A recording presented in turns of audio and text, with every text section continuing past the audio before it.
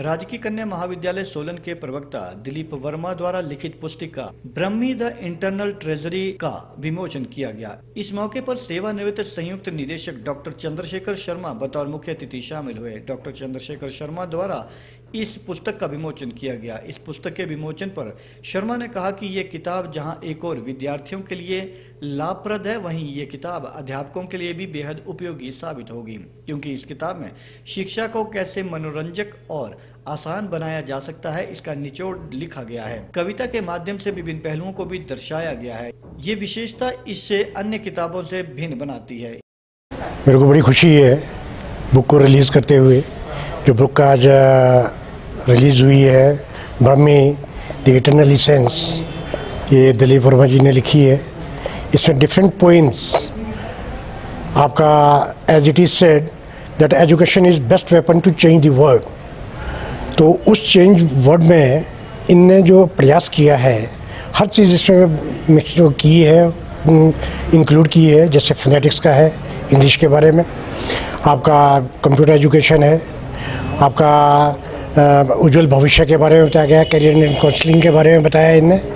तो ये एक सिस्टम बताया इनने कि भी किस तरीके से बच्चे को आसानी से जो है इन चीज़ों को सिखाया जा सकता है। क्योंकि बोलने में और लिखने में और प्रोनाउंसिएशन में बहुत फ़र्क है।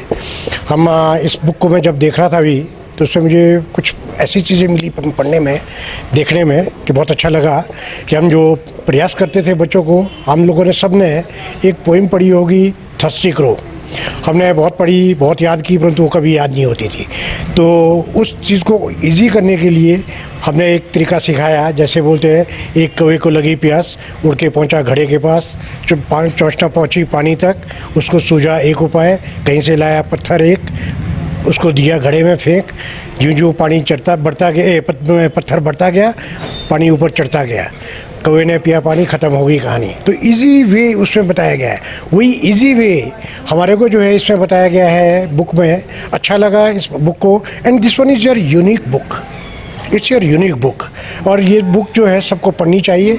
जो टीचर्स है टीचर्स को खास तौर पढ़नी चाहिए ताकि पता लगे कि हमें किस प्रकार से बच्चों को आगे ये चीज़ें डिस्ट्रीब्यूट करनी है, देनी है और उसका क्या हमारे पास मकसद होना चाहिए। तो अच्छी चीज़ है और सबको पढ़नी चाहिए एंड आई होप कि दैट अगर ये, इस बुक को डिपार्टमेंट को भी भेजेंगे तो इतनी अच्छी बुक है कि हर टीचर जो है पढ़ेगा और बुक जो है सिलेबस में भी ये चीज़ लगनी चाहिए परचेज होनी चाहिए।